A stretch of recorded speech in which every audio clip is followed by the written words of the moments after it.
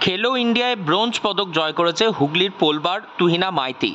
তেইশ মে উত্তরপ্রদেশের নয়ডায় আয়োজিত খেলো ইন্ডিয়া গেমসের কবাডিতে ব্রোঞ্জ পদক জয় করে বাংলার দল। সেই দলেই একজন অন্যতম খুঁটির খেলোয়াড় হিসাবে ছিলেন পোলবার এই কলেজ পড়ুয়া।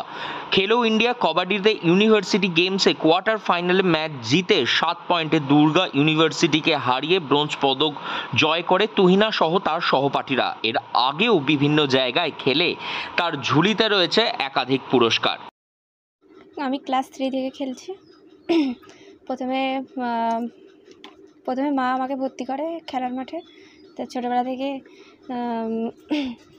খেলি। প্রথম ক্লাস থ্রি থেকে আমি ক্লাস ফাইভ, সিক্স পর্যন্ত প্রথমে জিমনাস্টিক করি।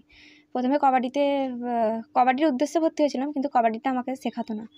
তারপরে আস্তে আস্তে ক্লাস সিক্সে আমি প্রথমে খেলি এবং কবাডিতে জয়েন্ট করি এবং জয়েন্ট করেই প্রথমেই আমি ডিস্ট্রিক্টে চান্স পাই। বারো বছর প্রথমে ডিস্ট্রিক্ট খেলি।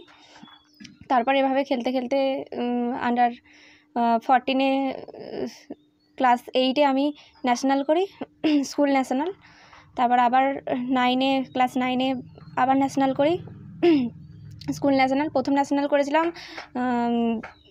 ছত্তিশগড়ের বিলাসপুরে। সেকেন্ড ন্যাশনাল করি মধ্যপ্রদেশের মধ্যপ্রদেশের ভোপালে। আবার তারপরে লকডাউনের জন্য খেলা বন্ধ ছিল। তারপর আবার ক্লাস ইলেভেনে দু হাজার একুশে লকডাউন খুলতে তেলেঙ্গানা এসপি গ্রাউন্ডে হায়দ্রাবাদ, ওখানে অ্যামেচার কাবাডি ফেডারেশন অফ ইন্ডিয়ার হয়ে ওয়েস্ট বেঙ্গলের হয়ে ন্যাশনাল করি। চন্দননগর ডুপ্লেক্স কলেজের এডুকেশন অনার্সের প্রথম বর্ষের ছাত্রী তুহিনা। বাড়িতে মা বাবা দুই ভাই বোনকে নিয়ে তাদের সংসার। সংসারে অভাব অনটন রয়েছে অনেক তবুও তুহিনার হার না মানা যে তাকে এগিয়ে নিয়ে চলেছে। বাড়িতে নুন আনতে পান্তা ফুরায় তবুও দুটি ন্যাশনাল স্কুল গেমস ও একটি জুনিয়র ওপেন ন্যাশনাল গেমসে ইতিমধ্যেই পদক রয়েছে তুহিনার নামে। প্রচুর ডিফিকাল্ট এখান থেকে প্র্যাকটিস যাওয়া। কিন্তু তাও তো চালিয়ে যেতেই হবে। কীভাবে যাও?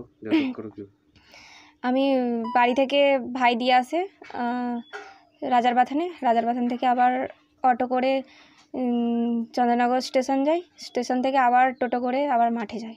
এরকমভাবে আমি রেগুলার প্র্যাকটিস যাই প্রতিদিনই প্র্যাকটিস করতে হয়? প্রতিদিনই যেতে হয় কিন্তু আমার পড়াশোনার জন্য এবং যাতায়াতের অসুবিধার জন্য আমি সপ্তাহে দুদিন কি তিন দিন যাই। খেলা থাকলে তিন দিন যাই এমনি দুদিন বাকি টাইম করে এখানে প্র্যাকটিস করো বাড়িতে বাকি টাইম বাড়িতে ছাদে প্র্যাকটিস করি।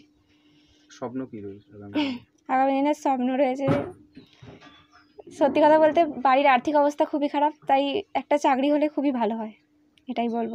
তার সাথে সাথে খেলাধুলা পড়াশোনা এই নিয়ে এগোতে চাই। কবাডিতে রাজ্যের হয়ে তো খেলেছি অনেকবারই এবার যদি দেশের হয়ে খেলতে পারি তো তাহলে তো ভালো লাগবে। ছোটোবেলা থেকেই আমার মেয়ে যখন আমার পেটে ছিল তখন থেকে আমি ভাবতাম আমার মেয়েকে কবাডি খেলা শেখাবো। এমনি কেন জানি না এমনিই আমার মনের একটা ইচ্ছা ছিল। তো সেই ইচ্ছা আজ পূর্ণ করেছে আমার মেয়ে। আমার খুব ভালো লাগছে খুব আনন্দ লাগছে। আমি চাই আমার আর্থিক অবস্থা খুবই খারাপ। আমার বয়স্ক শাশুড়ি আছেন আমার ছেলে ক্লাস নাইনে পড়ে তারও একটা খরচ আছে। মেয়ের খুব স্বপ্ন অনেক কিছুই ও স্বপ্ন দেখে। এশিয়ান গেম খেলবে ও বিপিএড করবে তারপরে বলে এম এ করব, কিন্তু আমি যে করতে পারব সেই সাহসটুকু ওকে আমি দিতে পারি না। এডুকেশানে অনার্স করছে গভর্নমেন্ট ডুপ্লেক্সে পড়াশোনা করছে, তো অনেক কষ্ট করে, তো খরচও প্রচুর। তাই আমি চাই ও একটা যদি চাকরি পায়, সরকারি চাকরি পেলে অন্তত আমার সংসারটা বাঁচে এই মুহূর্তে। তুহিনার মতন মেয়েরা সংগ্রামী ও নিজেদের লক্ষ্য পূরণ করে দেখানোর এক জলজান্ত উদাহরণ। তুহিনা চায়, যদি এখন সে একটি চাকরি পায়, তাহলে সে এবং তার সংসার দুটোই বাঁচবে। হুগলি থেকে রাহি হালদারের রিপোর্ট, নিউজ এইটিন, লোকাল।